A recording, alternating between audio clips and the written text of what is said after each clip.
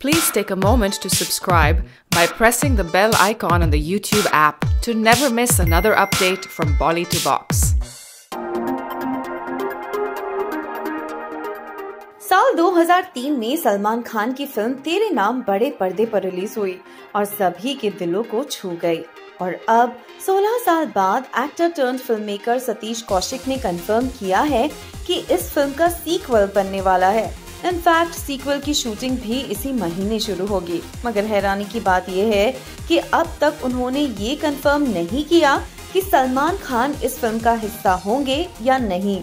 सूत्रों के अनुसार तेरे नाम का सीक्वल की कहानी एक लव स्टोरी ही होगी, मगर साथ ही ये एक गैंगस्टर ड्रामा भी होगी। वेल फ़िल्म की लीडिंग लेडी का भी कोई कॉन्फर्मेशन नहीं मिला है। अब सलमान की ही बात करें तो फ़िलहाल वो अपनी फ़िल्म दबंग थ्री की शूटिंग और भारत के पोस्ट प्रोडक्शन और प्रमोशन में बिज़ी है। उसके बाद वो सीधे संजय लीला भंसाली की फ़िल्म इंशाल्लाह पर काम शुरू कर देंगे।